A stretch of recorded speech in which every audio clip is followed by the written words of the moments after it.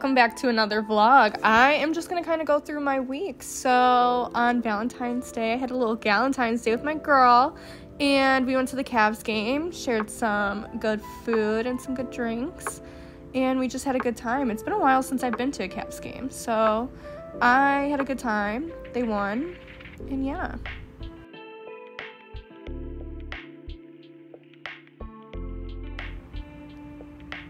Oh my god. So there were these um they had like a dance team of like uh senior citizens and they were so cool. They kind of just like reminded me that, you know, you shouldn't take life too seriously and that I hope that I'm this cool um when I'm old, but me and my friend we were getting a kick out of this. We thought they were so cute.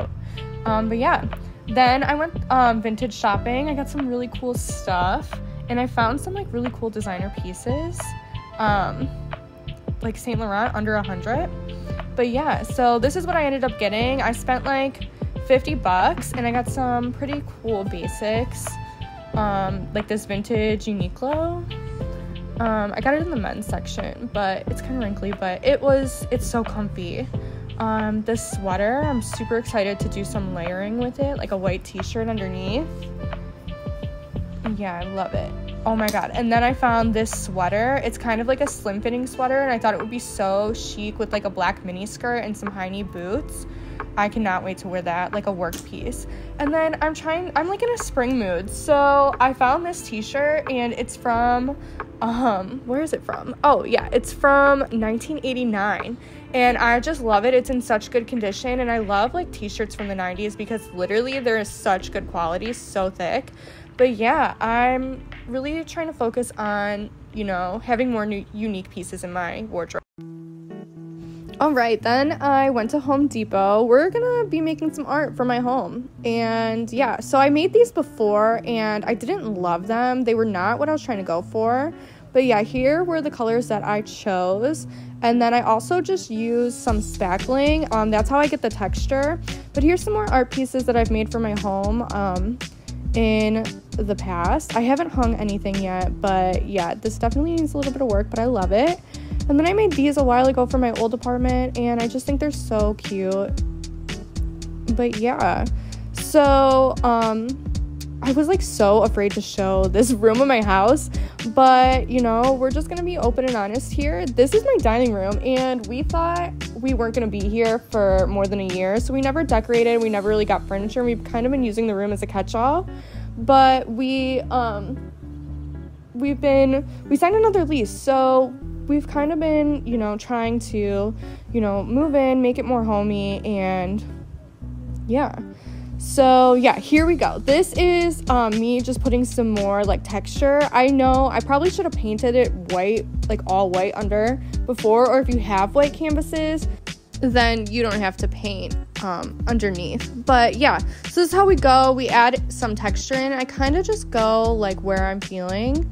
Um, and I kind of just eyeball it. I kind of want to see like you do it like how you want it to um, like flow on the canvas. So you can kind of see like before I had a flow that went from the bottom of the left up to the corner of the right. Um, I didn't like that. I thought I don't know, I just wasn't a huge fan of it. I wasn't gonna get rid of it, but I added some more like straight, um, straight up and down or um, horizontal texture so that it kind of balanced out and um, kind of balanced the frames a little bit more. So yeah. Um, so this the canvases when I bought them, I've had these, so when I bought the canvases, they were probably like 15 bucks each, so like 30 bucks right there. And then I got sample sizes of those paint colors that I just showed you, and those were about 5 bucks each. And then the like spackling was 12. I got a medium sized one because um, it doesn't really last if you try to save it. It kind of dries out. So medium sized one. I'd rather go back and get more than like buy too much and have it wasted. But yeah, I think it's like super important to um, to create pieces that are unique to your style or your space. It's super easy to just go and buy a piece that you see at Target or like on Amazon. Um, but I just find that like when you do it yourself, it's so much more meaningful and it's so much more um, it's so much more unique to your space. So, yeah, this is kind of how I did that. So when you go in with the texture, it kind of goes on a little clumpy. Um, so I actually use like the free uh, paint stirrers to kind of smooth it out and kind of give it more of a specific texture that I want. Um, but yeah, you definitely want to kind of smooth those clumps out. I think a little bit is okay. It kind of gives a character. But I try to just like smooth it out and then I use the edge, like the corner edge, to kind of make the, I don't know, like the little like digs in the texture. Um, yeah.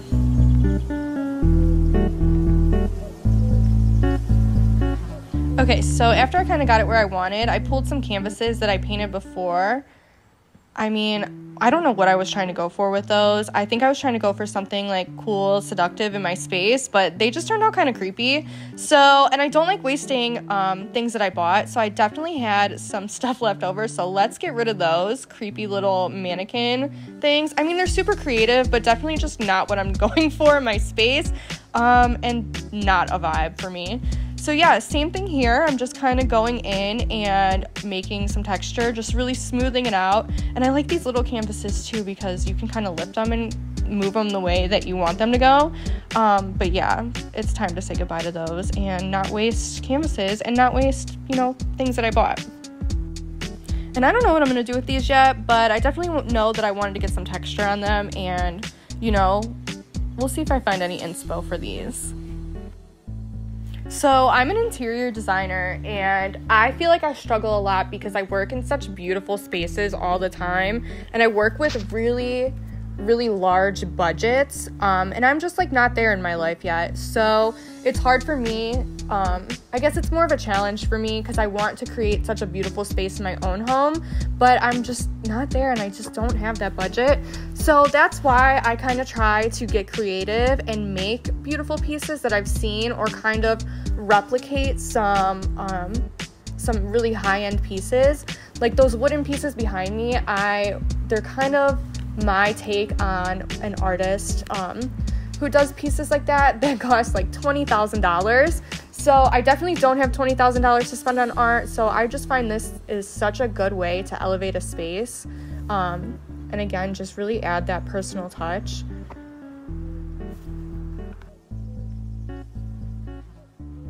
And then when you do a project like this, I get the pink spackle because it dries white and I can really tell when it's fully dried. I usually leave it to dry overnight with a fan on. So I have a ceiling fan, so I just leave the fan on and I let it dry for 24 hours before I go in and paint it. So, yeah, and then I just got this was just an old sheet from like an old bedding set that I had that I use as like my paint tarp and I love it. It makes me feel like an artist. So, yeah. And this is definitely going to be a series of things that I do to make like my rental space um, more elevated and more me and homey. Okay, so it's the next day. I painted everything, and this is how they kind of turned out. I might go in with another coat, um, but I kind of just blended all the things together. And I used some dark, um, like the darker shades, the lighter shades, I kind of just mixed them in. Um, and yeah, I cannot wait to hang them in my bedroom. And while we're talking about spaces, I just like am trying to learn to love my space and love like little details that I found. And I don't want to hate on Target because look at those pillows. I did get those from Target. And yeah, I'm just really trying to love my personal space. Okay, so speaking of design, we're heading downtown to go to the coffee shop to work on some design school stuff and just get some inspo. Then I took a walk, me and my boyfriend and my friend, we took our dogs to Edgewater and just take a break and take a breather and kind of just soak in the nice weather that we've been having. And then, yeah, just the aftermath of some dinner. oh my god, I'm just loving sunsets lately. I'm loving slowing down and kind of just trying to find inspo anywhere. But thanks for watching, and I hope you found some inspo.